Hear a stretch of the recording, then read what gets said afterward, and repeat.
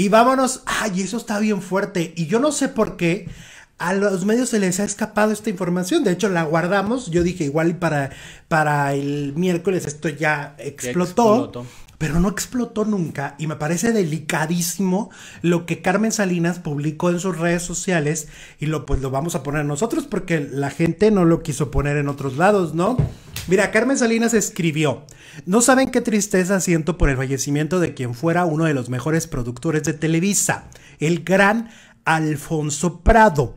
Me llaman por teléfono desde, me llamó por teléfono desde Cuernavaca, donde me dijo, la estoy pasando muy mal, Carmen. Mi hija más chica me vino a encerrar aquí.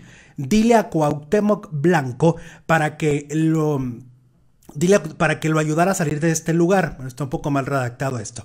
Dios perdone a quien tuvo la osadía de meterlo en un lugar tan raro. Me indicó que eh, en el teléfono con el que me estaba hablando lo met... Ah, ok. Me indicó en...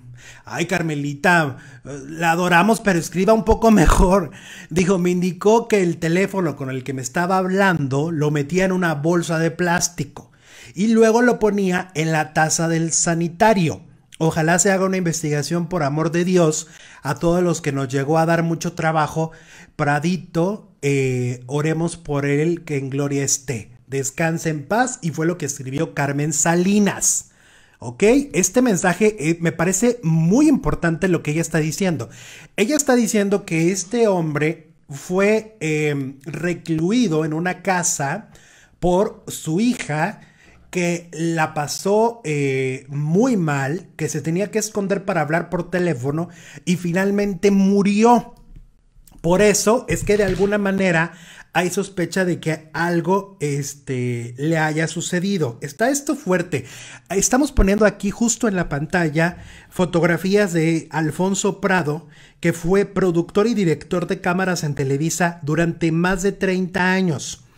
Ok, ¿qué hizo para que la gente ubique? Operación Conveniencia, Variedades de Medianoche, Sábados Redondos, Estrellas del Mañana, México en la Cultura, Eventos Deportivos, Eventos Especiales, ECO, eh, trabajó en Telemundo también y trabajó en Univisión.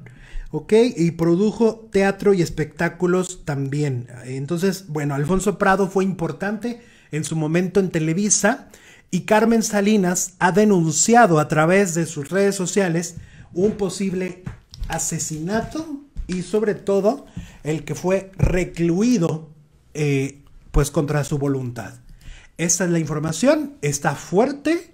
No entiendo por qué no ha explotado esta noticia, porque me parece que Carmen Salinas hizo un señalamiento como figura pública importantísimo y sobre todo pues involucra, eh, eh, tendría que estar involucrada ya la policía para pues saber por qué este hombre murió justamente en el lugar en el que se estaba, eh, lo recluyeron y que además ni siquiera podía hablar por teléfono. Es un poco parecido a lo que pasó con la abuelita de Talía, ¿no? Pero este sí con consecuencias pues desastrosas, con una muerte que no, que no se le desea a nadie, pero es lo que parece que pasó y como dices tú, ya deberían de estar investigando porque sí es muy grave. Es súper grave, es súper delicado, al menos que la familia saliera y dijera Carmen Salinas está en un error o, o él tenía otra enfermedad, no sé, porque también puede pasar, o sea, pero tienen que salir a decir algo. las personas no pueden morirse así como así y en estas circunstancias, ¿no? Exacto. Mira, tenemos otro super chat. Doris Vega. Doris nos manda dos dolarotes. Dice, chicos, son adictivos, los amo. Gracias, mi Doris. Gracias.